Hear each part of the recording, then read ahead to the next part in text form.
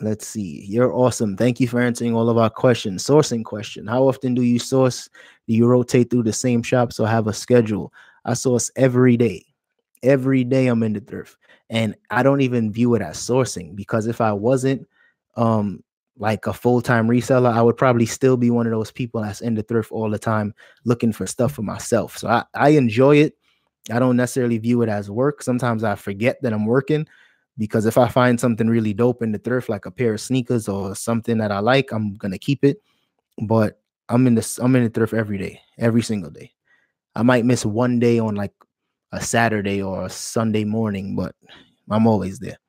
And the gym that I go to is right next to the thrift.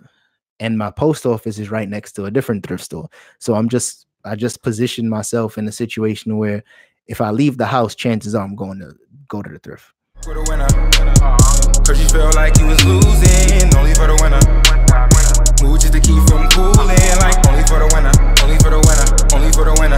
Boy, my heart is cold, and I'm too cool to sweat it. I should've never offered it. I'm tight and now I'm off this shit. You should wanna